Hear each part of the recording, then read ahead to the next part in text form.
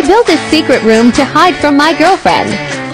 What the hell? Alright, so the first step, Home Depot. I then found a bunch of supplies to construct a fake wall to hide my door. I don't even know how you steer drywall. Second, I need to get a picture. Now I need a picture to put on the wall that I'll be able to open up and sneak inside of. So now that I had all my supplies, it was time to start measuring everything. After pretty much guessing on all the measurements, it was time to cut the drywall. And by just a little bit of luck, it fit perfectly.